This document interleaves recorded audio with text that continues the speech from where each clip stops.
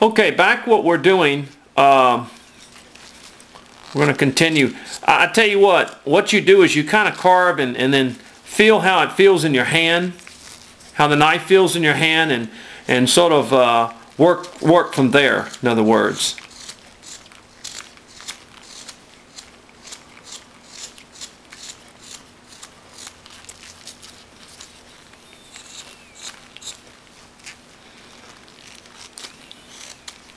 But I, I found, I, I've, been using the Ron Wells knife. Now, once again, the reason I use the Ron Wells knife, and one of the reasons that Mike Shipley took over his knife making uh, abilities or, or his, his knife, is because Shipley, if you look at his stuff, he does a lot of smut, very, very similar to flat plane work, in other words. It's kind of like Ozark flat plane, is what we he calls it. So that's why that I use a Ron Wells because I like the thin blade and I like it because of the flat plane work, okay? But that may not be the knife that you want. So, uh, like I said, I, I, have I have several knives, and uh, I've got to get me uh, an Allen Allen Goodman knife. what I, what I've heard of it, uh, people like Mark Akers, people that use it say it's fantastic, and I I've got to get me one. Uh, just a half of my collection. Ain't nothing better than a beautiful carving knife, the way it's made and stuff. Okay. All right. There we go. Let me take the this off of here. And if you just want to, I tell you what, you know, just uh,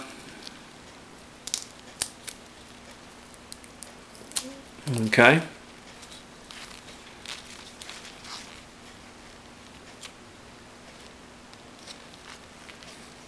All right.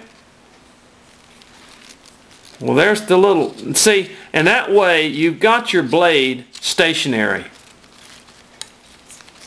You've got it stationary, well, it will stay, and uh, uh, you can carve with it. Let's see. Let's get a, um, get something to carve with it.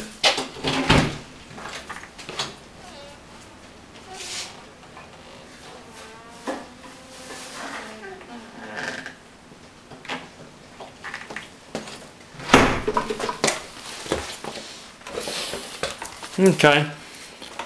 All right, let's see how it works. Yeah, it works. Works good, see?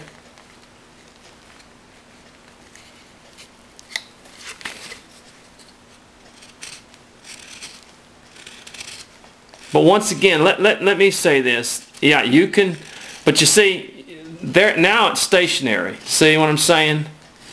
It's stationary and it you don't have to worry about it and you can continue to sharpen it in such a way. But once again, emphasize, invest in a good carving knife. These are these are basically for temporary, for, for detail and things like that, that's fine.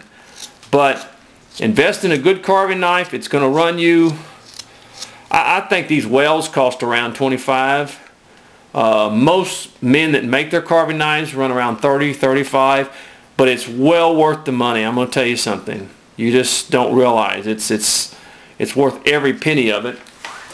And uh, uh, so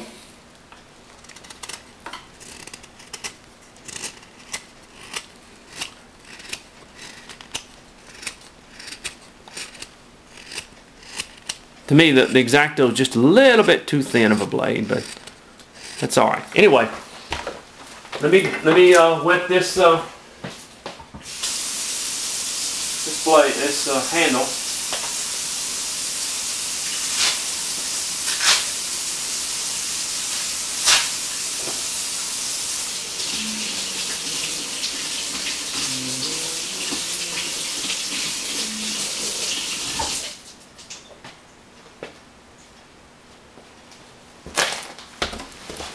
Okay, there you go.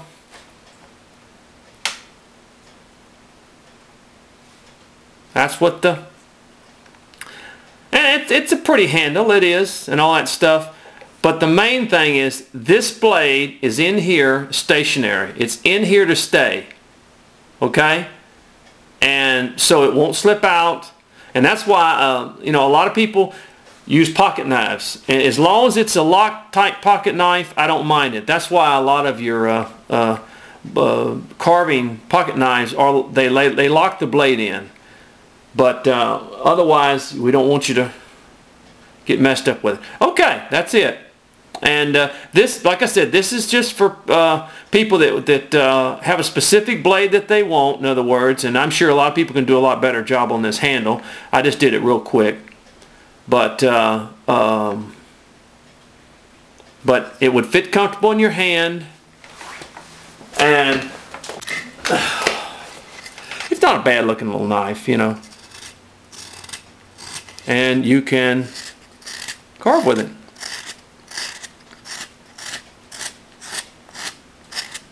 But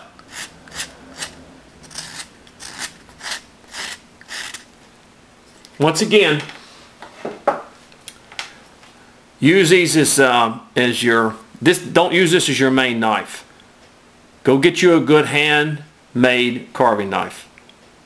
All right. Okay. God bless you now. And uh, this was a request by uh, someone.